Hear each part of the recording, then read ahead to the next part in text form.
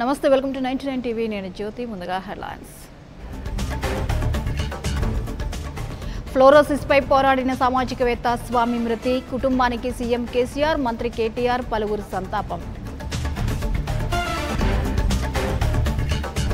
కాసేపట్లో సిబిఐ విచారణకు ఎంపీ అవినాష్ వైసీపీలో టెన్షన్ టెన్షన్.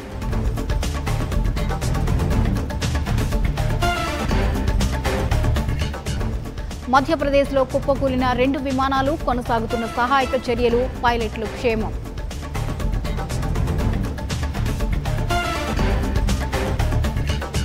మూడు రోజుల్లో మూడు వందల కోట్లు రికార్డు వసూలు రాబడుతున్న షారుఖ్ పఠాన్.